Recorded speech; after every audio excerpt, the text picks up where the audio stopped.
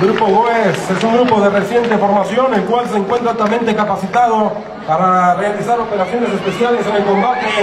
de los delitos del fuero común y fuero federal, tales como actividades de antisecuestro, de rescate a víctimas,